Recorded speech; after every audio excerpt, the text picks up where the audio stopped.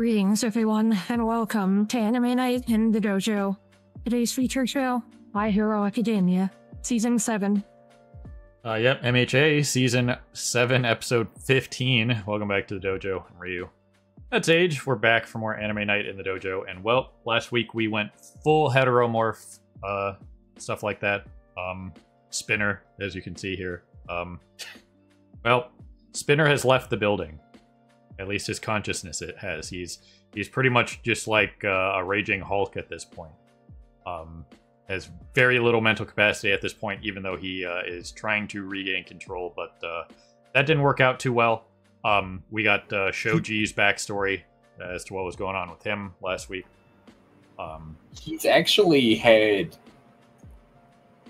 after making this like transformation into his like scaled form, he actually has had a bit of a resurgence in cognition. Like he was pretty coherent towards the end there.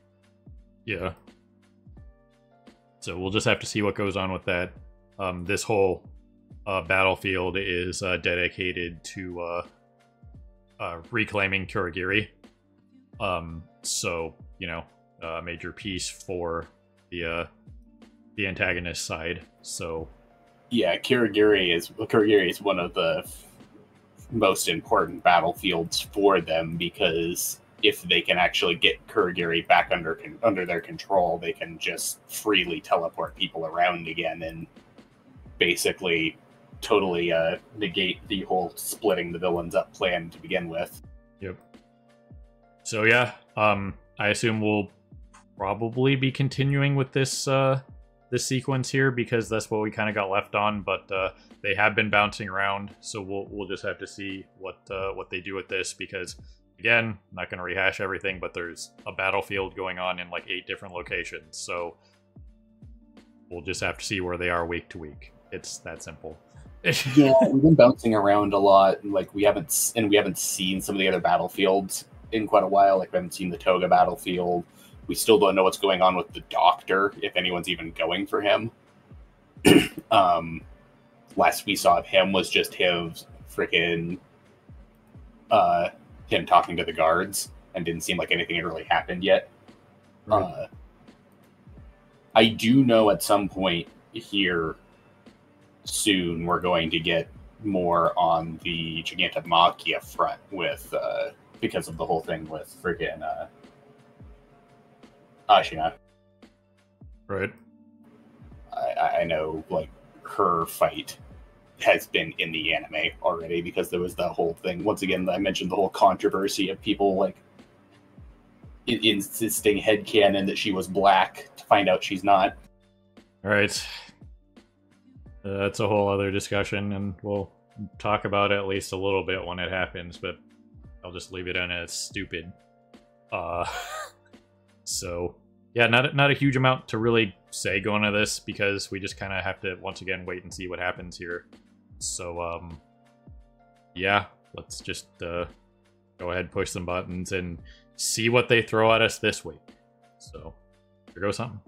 Kurogiri's quirk will decide the winner of this conflict. For Tomura's sake, you must become our hero.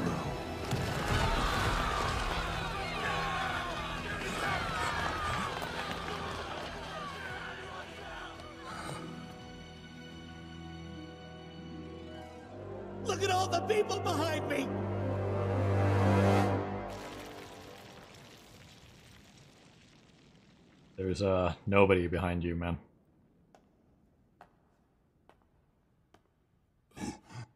Shoji got through to your followers. I know what you want, but he won't be your secret weapon. I saw them. And I couldn't raise my weapon against them. Stop spiraling, you fool! Be rational! That octopus is becoming a problem. The heteromorphs are finally radicalized enough to become a massive meat shield for us. Their passion is supposed to make us an unstoppable force. I was hollow inside. So when passion filled me, I took a stand. Think about how you're using your anger! I did think about it, and all I wanted was to keep following him. And they won't even know what hit him.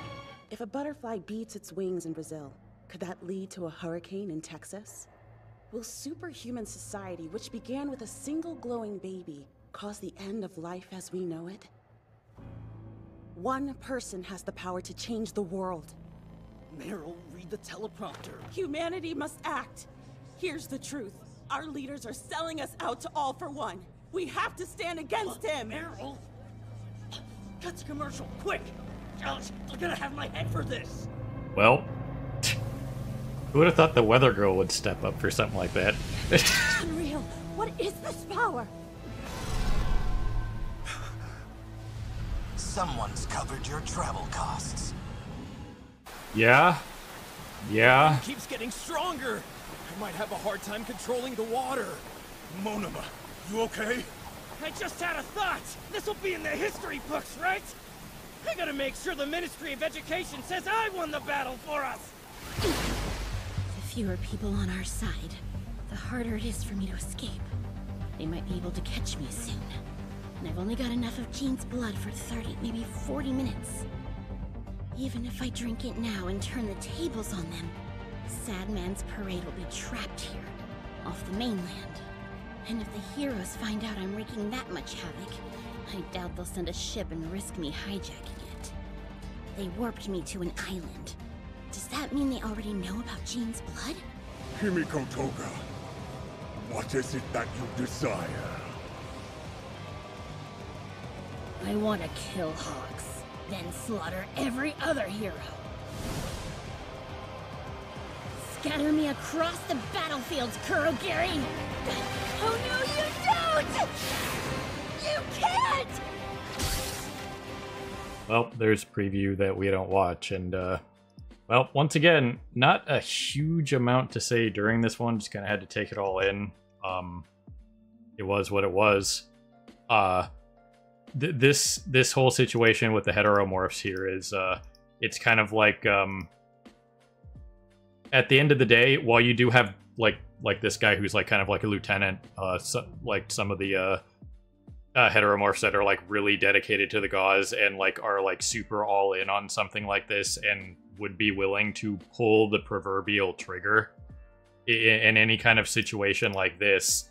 At the end of the day, the majority of these people they're just civilians Mhm. when they're posed with the act like the the actual like real life ramifications of what they're like being asked to do like in this case of uh you know going after the uh the doctors here and like the the hospital staff to achieve what they're wanting to do is like the average person is not going to be able to pull that trigger.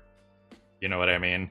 And it has even just like in this in the case of like this this guy right here if one person wavers in the crowd it has an effect on collective morale you know what i mean so Yeah, m- morale is a chain reaction. If one person rallies, then it causes other people to rally. If one person wavers, it causes other people to waver. Yep. So at the end of the day, these are just normal citizens. They're not. th- th- They're just normal citizens that have that have gotten together in like a surge in a mob. Uh, and, and while they did have like their leadership and stuff like that that were willing to go to those links, um, Spinner did have, you know, the the followers that he always wanted, like people behind him in this case. However, they weren't as dedicated to the cause as he was. You know what I mean? Because they, Well- it's not like they. Th- these are all just people that were picked up. You know what I mean? They haven't like lived with Shigaraki and you know become The- super the dedicated to the here- cause and whatnot. The, the problem here is the difference in ideologies. The heteromorphs that are rioting are rioting just because they want better conditions for heteromorphs. The uh, formal liberation front members are just there to use them to get to achieve their own agenda, and Spinner is only here to help Shigaraki. n- none of the three groups actually have aligned ideals. It's literally just a circle of people using each other. Right. So generally speaking, that never really turns out well.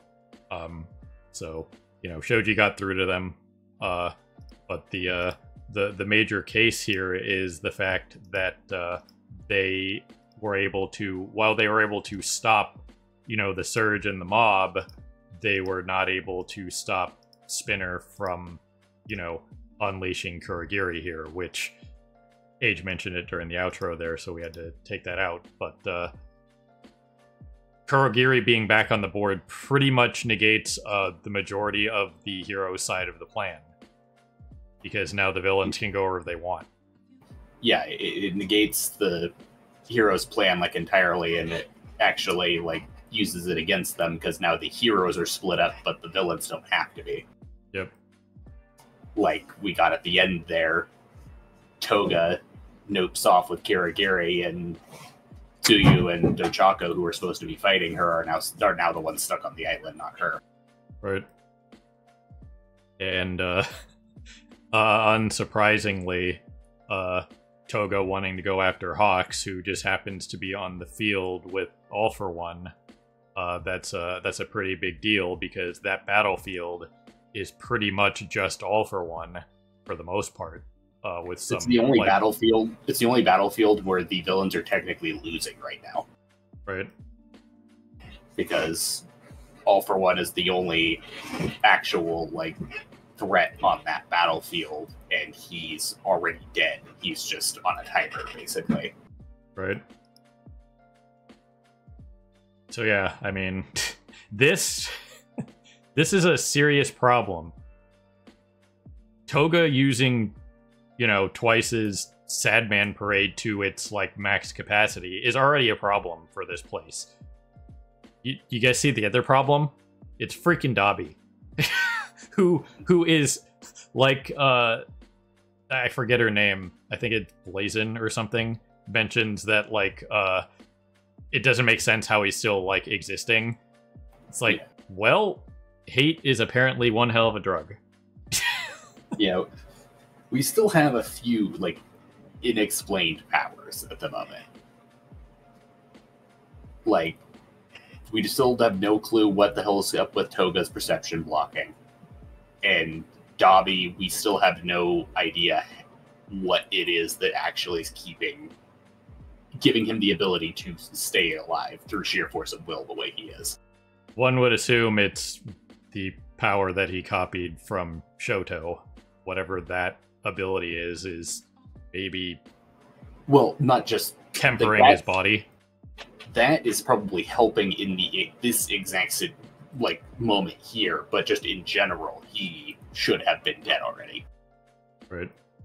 Like he has inexplicably had some way to just basically be too angry to die, which isn't the only explanation we've got so far. When there's got to be something that's like actually like you know keeping his body from burning. Yep.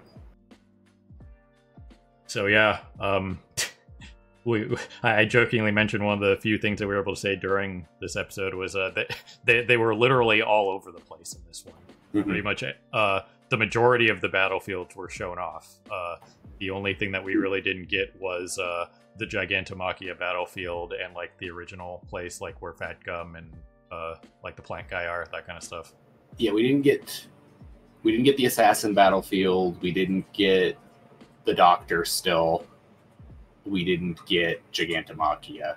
Though, like I said, I know we're going to get Gigantomachia at some point in the next few episodes. But yeah, we haven't yet. Still, Right. So yeah, um, they kind of hinted at like what her deal was with the perce- perception blocking here. Um, it made it sound like she was using other people somehow to make it seem like she's there, but she's not really there when it's somebody Well- else.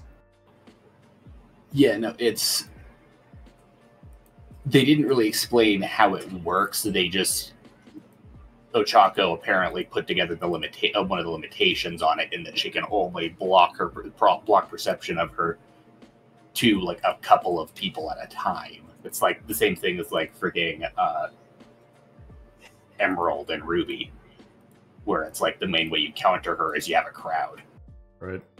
because she can only cause uh, a couple of people at a time to hallucinate. Yep. But even Toga herself said something to the effect of them losing numbers on her- their side is like a detriment to her blocking. So, Well, the re- I t- the reason I take that is because she's also aware of her own weakness of she can only blo- she can only uh, block the perception of s- so many people.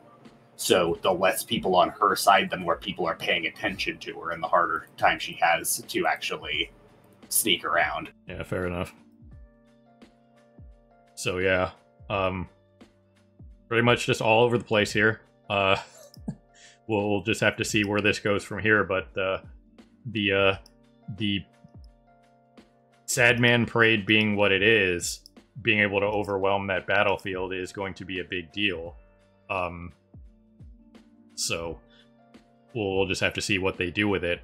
Uh, Yeah, the problem with with the whole situation now is just basically that there is no counter to Sadman Parade.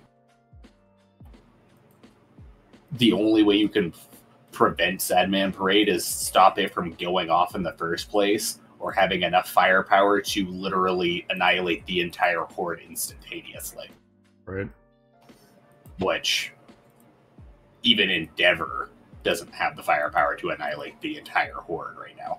Yep. So the the only thing that might end it is if Toga literally runs out of time, because Yeah, you'd that's what I was assume that uh, even though she's using Jin's power, when she runs out of time, just everything is just gonna poof. Yeah, that, that's what I was gonna say. It was like as it stands right now, the only way to really counteract it is the only hard counter to Sadman Parade itself is to be able to annihilate the clones faster than they're created, which they create that they create themselves exponentially. So once the horde's already this big, you'd have to be able you'd have to take out the horde instantly. Uh but as far as Toga is concerned, the only thing that we can really that would really be able to be done is you have to be able to find the original Toga in the horde, or run her out of time. Which we've ass- we still don't have any actual like confirmation to it, but we've assumed for a bit now that when she's using the quirk of someone, it makes her run out of time faster.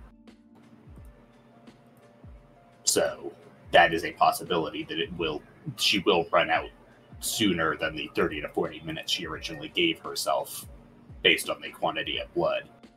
Right. Now, there is something interesting here. And this is kind of one of those throwaway lines. But it's something to think about, but it might not come up at all. When Toga was like near death, that triggered the original Sad Man parade, Jin was talking about how if he could make a copy of Toga and then use the copy's blood for a transfusion to save her life. See what I mean here? What, Yeah. Do you think it would be possible, since she is copied as him? If that's, I I doubt it's something they're gonna, they're gonna go into. But you know I what I'm getting at here is if she could use a copy's blood to then basically become infinite. Well, yeah, so I feel like it works the way Twice presented it, in that, like, if he created a copy of someone, you could then use that copy's blood.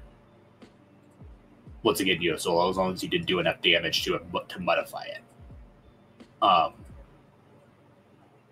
however, this case, I don't think it would work because these aren't copies of Twice; these are copies of Toga. Yeah, it's kind of just kind of one of those weird technicalities, right? It's Like- still technically her, just using Yeah, his quirk. because like if what you're saying is true then it wouldn't actually matter how much blood she had she could just if she had even a drop of someone's blood to turn into them, she could just turn into them and then suck her own blood, basically. Right. Because at the end of the day, uh, when she turns into someone, it's basically just like her putting on a suit. Yeah, like she's not actually changing her own anatomy. It would still be her blood in all these twices. Yep. So yeah, it's just it's just kind of like one of those interesting like side things to kind of think about because it was something that Jin said he could potentially do. Yeah, like I said, I'm pretty sure it would have worked in the original context he gave of him copying someone for her to bleed to use her power. Uh, but it wouldn't work. Like her having his power right now, I'm pretty sure she once again could also use it in that context of like she could copy someone else to basically have an infinite blood bank of that person. But she I don't think she would be able to use it on Jin because once again, she doesn't have access to Jin. It's just copies of herself tra- of herself looking like Jin. Right. So yeah, it's just kind of one one of those weird technicality things to talk about. Um, the the the one thing here too is uh, you know, how how about the random American weather girl just completely going rogue and just like starting a rally against All for One as as just kind of like a, a side thing because they might not go into it, but it was reasonably implied that the American president in this show is an All for One supporter. Mm-hmm. So it'll just be kind of like interesting to see like where like if they do anything with this. But as is pointed out, like, you know, if Japan falls, they're coming for the rest of the world. You know what I mean? Yeah, it's basically this is the last chance really to stop for one from taking over because if he manages to secure Japan, then he no one will be able no, no one will be able to stop him. He'll become become too strong. Right. And like she was pointing out here, uh, this whole thing started with her pointing out the fact that uh, all the fighting going on in Japan is having adverse weather reactions across the entire world because of the extreme use of quirks going on. Right. It's kind of like um, for anybody who knows history, it's kind of like when that South American volcano erupted back in the 1600s uh, that affected literally grain production in the whole world. Mm-hmm. It's those kind of like cataclysmic events that can just affect literally the whole world. And this, with what's going on in Japan, like especially with all the like superheated stuff that like uh, um, the Todoroki family is doing, on top of literally everything else as well, uh, is Yeah, pretty there's insane. Actually, there's actually a number of fire quirks going off right now, but they're obviously like the biggest contributors. But yeah, you're talking about the Little Ice Age. Yeah. So it, will be interesting to see what they do with this. But once again, there is uh, all kinds of stuff going on. Um, with all the stuff going on, I am kind of surprised that this is supposed to be like 21 episodes, but maybe there's some kind of like, uh, um, maybe they kind of want to do like a uh, a special like full cour season to kind of wrap it up kind of deal. Um, That's like, what I was like- saying. like final chapters, kind of like what Attack on Titan did with final chapters, but that's a whole other discussion that. But something like that. Yeah, that's what I was kind of saying when we were going into this, when we first heard it that it was only going to be 21 episodes, and the info we were having, uh, that I had at least, uh, about uh, the fact that the manga was ending, was whether or not they were going to try to wrap this all up in one season, or if they were just the reason they were only doing 21 episodes was just to kind of cut it off a little early so that way they have enough source material to do it like at least one full cour as like an actual finale Right. which it definitely seems like they're going for the we're doing one more season of probably one cour Right. to just be like the actual finale and that this is just, just going to basically be the majority of the the major fighting but then saving like the actual final fight itself against like all for one shigaraki whoever uh for the final season and you know then having like the prologue and stuff like that Yep. But Uh, uh, I mean, I mean, since we are 15 episodes in, a reasonable amount of stuff has happened during this season. Yeah. Uh, and we still have six episodes left, assuming it goes. It's only 21. Only 21 episodes is still a lot. Uh, but still, um, we'll we'll just have to see. But six episodes is plenty of time to get a a bunch more of this stuff in here. So we'll just have to see pacing wise what happens.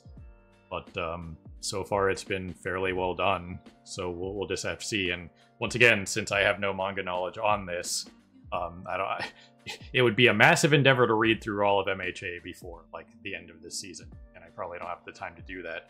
But it's definitely one of those things that I want to go back and read, and at some point talk about like the the differences between the source material and the TV show, like what they do with it. So um, yeah, that's just gonna be something to for the future of the channel is like um, just kind of like uh, when I have time to squeak in like uh, source material because for some of the shorter stuff uh, it shouldn't take that long to read through it. You know what I mean? Uh, but for something like MHA, that's like 450 chapters. We're talking like almost 5,000 pages of content. I mean, you, you might be able to read it by the time the final season actually comes out. Right. If you tried. But, like, yeah, there's like no way you're to unless you really freaking went hard on it. I, I don't think there's any. If I had nothing else to do for the next two months, and I dedicated like you know maybe like 50 chapters a day or something, uh, but no. it, to a lesser extent, reading that much for me is kind of like the subtitles thing that I've talked about, where if I read too much, then I'll start getting nauseated and just can't do it, deal with it. So uh, there, there's only so much I could read in a day before it would be detrimental to my whatever causes me to feel nauseous. So, yeah. Um, while while it's not the same thing as like stuff moving behind subtitles and stuff like that, it's still just I don't know. It's like being seasick, I guess. I don't um, yeah, I mean, it, it, will be interesting to see if they do anything more with like the American side of stuff or the rest of the world kind of stuff. But uh, they are they do have that movie coming out here shortly. Um, and we don't I don't know when that's going to be dubbed, but kind of like how the Spy Family movie took a reasonable amount of time to get dubbed. So we'll just have to see. But uh, when that movie comes out, we'll do that. But uh, you know, some of the stuff in the movies is canon, some of it's not. We'll just have to see what happens with that. Most of the movie stuff is canon, from what I know. The only Yeah. thing that was like non-canon, I believe, was like wasn't even one of the movies. It was like the OVA thing. It was like the like freaking uh, the zombie survival mini arc thing. Right, yeah. But anyway, bunch of stuff happened in this one. We we were all over the place. It'll be interesting to see where they go from here with the Sad Man Sad Man Parade stuff.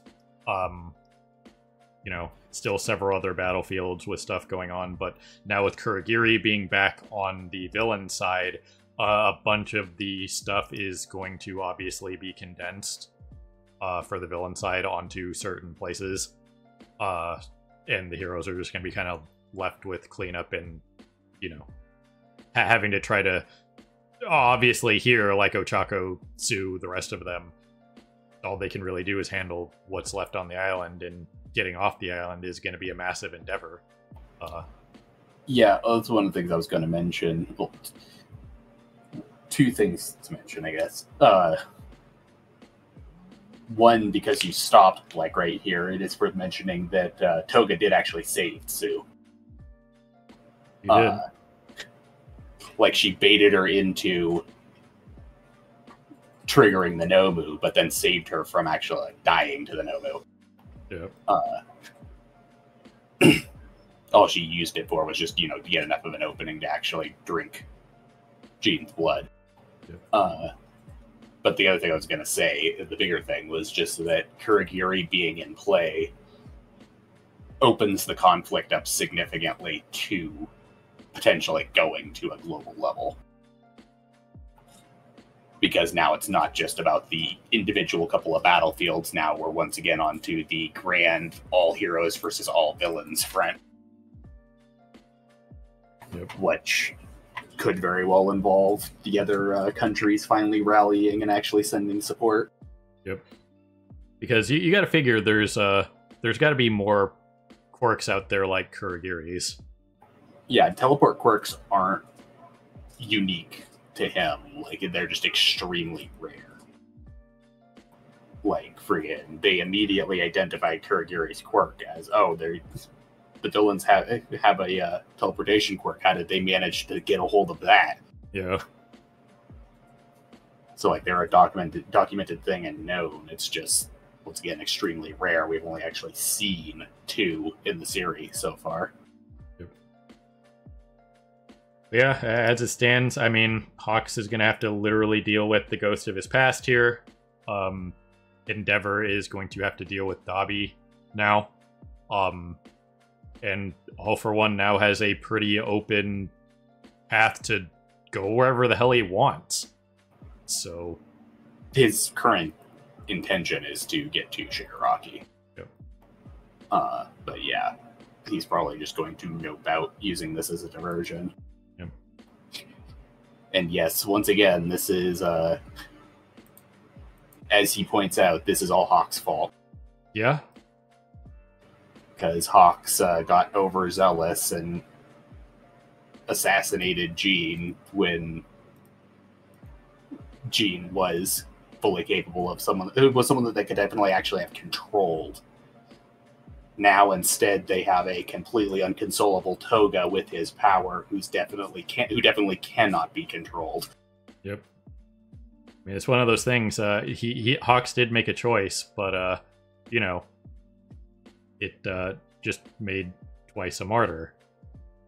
And yeah, well, yeah, like if he had just if if they had made like an effort to capture or turn Jin, it pretty much every scenario would have turned out better than what they got, which, you know, is Angry Toga, who is capable of pushing Sadman Parade well beyond what Jin ever was capable of. Right. So yeah, um things are just escalating quickly all over the place. And uh it's definitely a thing. So um, definitely looking forward to seeing where this goes. I once again do have a spoiler, but it was something that we talked about in previous seasons. Um, talk about it when we get there, but it's not surprising. But it is quite important, so uh, I can't really talk about it. But um, just knowing that it's there, uh, I, I don't know how or when this event occurs and the people that are uh, associated with it or where they're at. I just know that uh, it happens. So it will be interesting to see where it happens and uh, how like it came about, kind of deal. But uh, yeah, it, it, will be interesting to see because uh, because we're getting close to that uh, that sequence. Um, but uh, once again, I don't know exactly where it happens. I just know uh, the characters involved, and it's something that we have talked about in the past as a possibility of uh, uh, being a thing. So, um, yeah. Yeah, we're getting closer to my spoiler as well, though. As it stands right now, my spoiler probably won't hit until next season. I assume your spoiler has something to do with Stain. Uh, no. Okay. Uh, unless Stain is somehow adjacent to what happens, but uh, yeah, it is face value, it has nothing to do with Stain. Though it might randomly, through, I don't know, nonsense. I, we'll just have to see. But uh, it should be in the next one or two episodes here. So, anyway. Yeah, because I'm just kind of trying to think back to what it possibly could have been that was spoiled, but and like one of the only things that I can think of that was like a bigger prediction that we made previously was uh the whole thing that like Stain would take one for the team for freaking uh, All Might at some point, but All Might currently isn't any real threat. Right. Uh, I, I, have no I have no knowledge of anything Stain related from the last time we saw him. I'll just say that. So this is something completely unrelated to Stain, unless he randomly has a hand in what happens here. So anyway, um, and once again, I don't know completely what happens. I just know some characters that are involved in doing something. So, yeah, as it stands, the only thing I personally know at this point, spoiler wise, is just the the one big spoiler that's like I said, probably not coming till next season, and then freaking the fact that we're getting Ashido fighting the goons at freaking uh, Gigantomachia front here at some point in the next few episodes because of the whole controversy thing. Right. Always gotta love controversy stirring up shit, but what are you gonna do? But anyway, another solid episode. Um, we were all over the place, so that was fun. Um, not a huge amount to say during, but I mean, that is what it is. But we mostly talk after the fact anyway. So, ladies and gentlemen, people of YouTube, beyond however watching, we always appreciate you stopping by and hanging out with us in the dojo for more anime night in the dojo. And this was My Hero Academia, season 7, episode 15. So, have a good morning, evening, afternoon, whatever it is for you. Have a good one. See you next time. Hey everyone, Victoria here. If you enjoyed the video, please consider pushing those like and subscribe buttons. Your support is greatly appreciated. Thanks again for your time, and we hope to see you again in the future.